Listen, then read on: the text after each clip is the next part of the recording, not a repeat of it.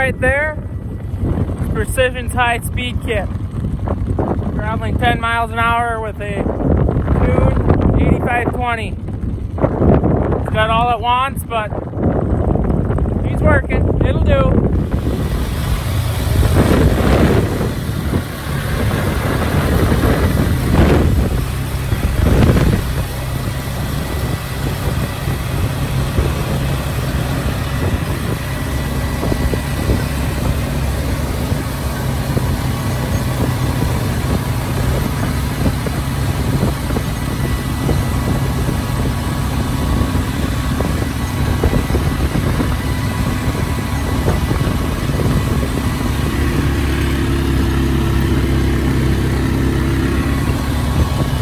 So I'm out here, I found myself a wet, hard, compacted area where the V of the opener is left open.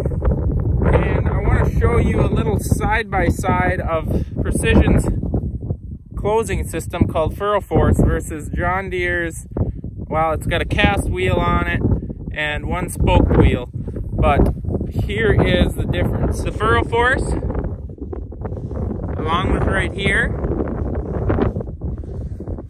right here in these two rows is John Deere's closing system with a cast wheel on one side and a spiked wheel on the other.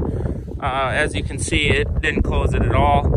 Uh, mostly the silt just got brushed back in. Um, but like I said, it is very hard in this area. Like, you can't barely poke a plier in, so odds are this stuff ain't gonna grow very well right through this little this little ditch right here to begin with but it is a true problem we've had in this heavier what we like to call gumbo and very interesting to see that precision is closing that trench. I just don't know if it's going to be closed and so gumboy and hard that the plant can't come through. That's something interesting. Like i said i'm gonna watch this spot, see the emergence, see if it emerges uh, through either um, closing system. Uh, but it's definitely encouraging, definitely an encouraging thing because they're very, very expensive. So I want to see them pay off. That's why we are only trying four because it's their first year out of beta testing. They've been selling the heck out of them, I guess we trying four of them, or we are trying four of them, just because they are so expensive. We want to see the benefit before we uh, do the whole planter and see if they have any issues with them. I apologize for the crappy audio. I was just out there. I was seeing the planter there. Sun was good. I thought I gotta make a quick little teaser video for the video that will be coming out probably the end of this week of us getting that thing up and going. It is currently going at full steam ahead. He has done, is it 550 acres? I'm hoping he gets up to that 600 mark today.